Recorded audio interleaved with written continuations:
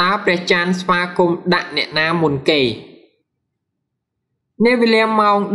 10:56នាទីយប់ថ្ងៃទី20ខែកក្កដាឆ្នាំ1969ពោលគឺកាលពី51ឆ្នាំមុន ជាពេលដែលព្រះច័ន្ទទទួលស្វាគមន៍វត្តមានមនុស្សដែលទៅពិភពផែនដីលើកដំបូងគណៈលោក Neil Armstrong គឺជាអ្នកដឹកនាំបេសកកម្មឡើងទៅឋានព្រះច័ន្ទនិងបានជាន់ដីឋានព្រះច័ន្ទមុនគេបង្អស់ ជោគជ័យដ៏ត្រចះត្រចង់នេះអាចនិយាយបានថា Armstrong គឺជាអ្នកដែលទទួលបានការស្វាគមន៍ពីព្រះច័ន្ទមុនគេបង្អស់លោក Neil Arden Armstrong កើតនៅឆ្នាំ1930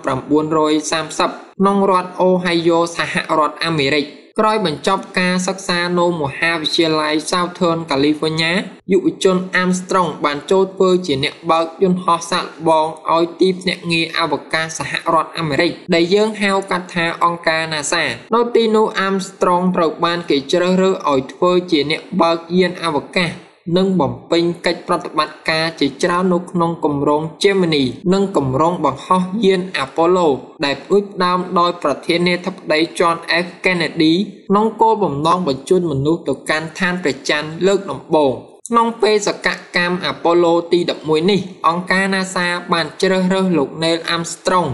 ជាមេបញ្ជាការដឹកនាំបេសកកម្មនិងមានសហការីចំនួន2រូបទៀតគឺលោក Michael Collins និងលោក Edwin Aldrin នាថ្ងៃទី16ខែកក្កដាឆ្នាំ1969យានអវកាស Apollo ទី11ត្រូវបានគេបាញ់បង្ហោះចេញពីស្ថានីយ៍អវកាសជ្រោយ Kennedy ក្នុងរដ្ឋ Florida ដោយកំជ្រួយ Southern ទី5កំឡុងពេលនោះមានមនុស្សជុំវិញពិភពលោកប្រមាណ500លាននាក់កំពុងរងចាំមើលបេសកកម្មនេះក្នុងរយៈពេល102ម៉ោង45នាទីនិង40វិនាទីយានអវកាសអាប៉ូឡូទី11ក៏បានសម្ចតនៅត្រង់តំបន់សញ្ញកាសកំឡុងពេលសម្ចតនោះលោក Neil Armstrong និងសហការី Edwin Aldrin បានត្រៀមប្រព័ន្ធយានចម្លង Eagle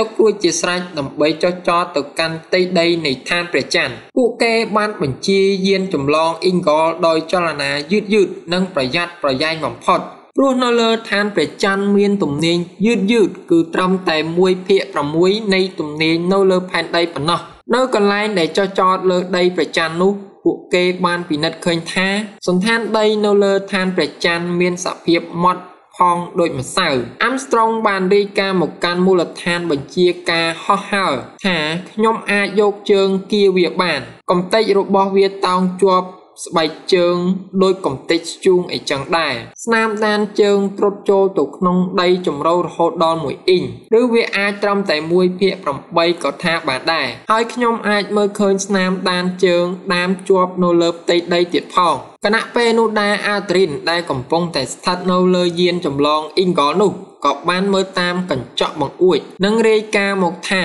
ផ្ទៃដីបរិវេណនេះ សុទ្ធតែមានរណ្ដៅជ្រៅជ្រៅទំហំប្រមាណ152.4សង់ទីម៉ែត្រដល់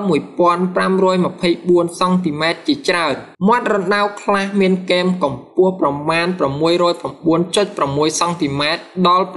912សង់ទីម៉ែត្រនៅជុំវិញបរិវេណនោះមានរណ្ដៅតូចៗរាប់ពាន់រណ្ដៅបន្ទាប់មកទៀតពួកគេបានដាក់ឧបករណ៍វាស់កម្លាំងរំជួយដីកញ្ចក់ឡាសេឧប ករណ៍វាស់កម្លាំងខ្យល់និងដាក់ម៉ាស៊ីនវីដេអូដើម្បីថតយករូបភាព Armstrong បានចាប់ផ្ដើមកើបយកដីនិងកំទេចថ្មបានរាប់សិបគីឡូក្រាម អ្នកទាំងពីរបានបំពេញភារកិច្ចជាលំដាប់លំដោយទៅតាមផែនការកំណត់ដូចជាការធ្វើតេស្ត Solar Wind Composition ការថតយករូបភាពចិត្តៗរបស់វត្ថុលើឋានព្រះច័ន្ទនិងកិច្ចការជាច្រើនទៀតក្រោយចុះដើរលើដីព្រះច័ន្ទបានប្រហែល2ម៉ោងអ្នកអវកាសទាំងពីរក៏ត្រៀមខ្លួនឡើងទៅលើយានចម្លង Eagle វិញដើម្បីដេកសម្រាកក្នុងរយៈពេលវែងរហូតដល់